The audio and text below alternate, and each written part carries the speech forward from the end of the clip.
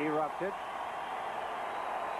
Richardson and Taylor still confronting each other.